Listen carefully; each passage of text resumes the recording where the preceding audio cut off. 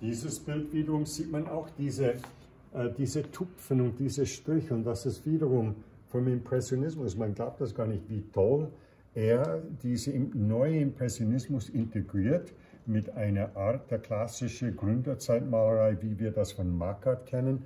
Das ist ja sehr von Marquardt auch her, das frühe Werk von Rothauf.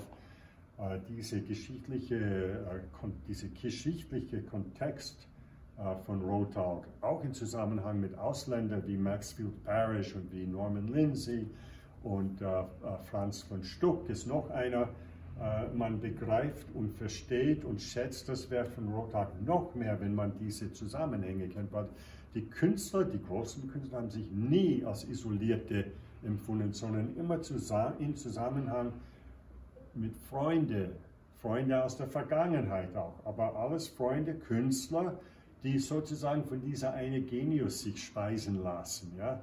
Und das war in diesem äh, ein ganz starker Ausdruck äh, äh, und, äh, der Schönheit und der Würde des Menschen in diesen Werken von Rothard. Man merkt auch, dass er die Menschen geliebt hat, dass er die Würde des Menschen auch als das Hauptthema de, der Kunst überhaupt äh, sich äh, vorgestellt hat und dargestellt hat.